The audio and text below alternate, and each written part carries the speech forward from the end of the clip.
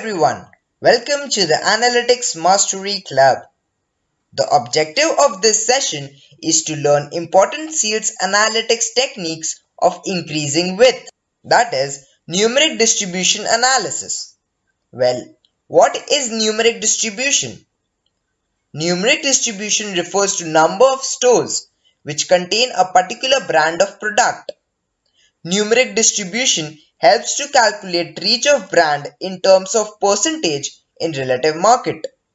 Numeric distribution answers two basic questions.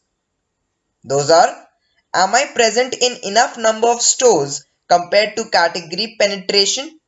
And secondly, where is the competition standing in terms of their sales distribution?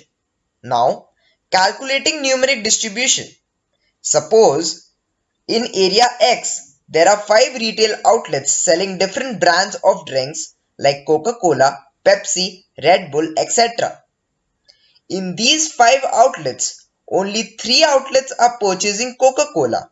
Thus, for sales manager of Coca-Cola, numeric distribution is equal to 60%.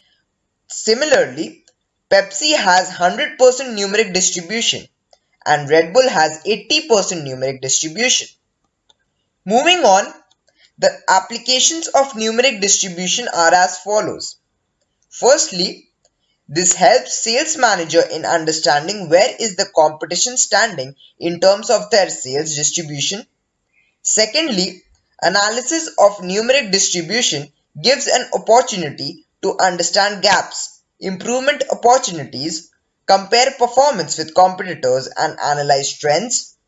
Thirdly, Numeric distribution analysis is used mostly by FMCG industries, retail and pharma industry. So friends, in this session, we learned about what is numeric distribution, how to calculate numeric distribution, and applications of numeric distribution. In the next session, we will learn about Lapser outlet analysis. The data and the explainer video of this analysis can be downloaded from the link below. Thank you.